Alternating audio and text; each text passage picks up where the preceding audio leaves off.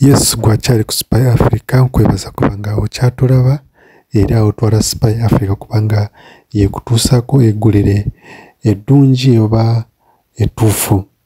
Awo olunaku olwaleero eggulire teriwomya ttooke kubanga nti omugagga omunene wano mu kibuga e kampala asobodde kuba nga ayabulira obulamu bw'ensi amanyikiddwa nga aponye. Abantu abangi mumanyi aponye building ate aponye alina ne companies endala eziwadde abantu wano mu uganda emirimu. Asobodde kuba nga ayawulira obulamu bw'ensi abadde atambula ng'agenda i think oba mu kyalo ku kabaale mbalala highway. Oyinza otega nga ku itozo in so agudde mu kabenje awo ndaba nga afiirawo nga tatuusiddwa na mu ddwaliro.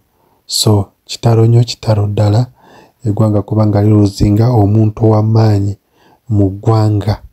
Kitalo nnyo kitalo ddala tusaasira b'emikwano abooluganda nabo bennyini babadde bakolera mu kampuni ziize tubasaasira kubanga muviddwako omuntu ow'amaanyi tugenda kuba nga tumusubwa kubanga abadde ataddewo etafaali ku ggwanga lyaffe e uganda kubanga nti abantu babadde basobola okufuna emirimu kuyitira mu kampuni ze zeyatondawo ng'omuntu. Kitalo nnyo kitalo ddala eri eggwanga mukama katonda muwumuza emirembe. Bwe gwanga gwe mulundi gwe ogusoose okutulaba subscribinga likinge otweka like ako katambuze vidiyo eno etuuke ku buli omu. And turn on the notification bell wabe ng'osobola okuba nga ofuna vidiyo zaffe mu budde This is a terrible accident, you guys. I hear this is Oponyo. Oponyo, the richest man in town. Look at how he has gone. God, may the Almighty God rest his soul in peace. Yes!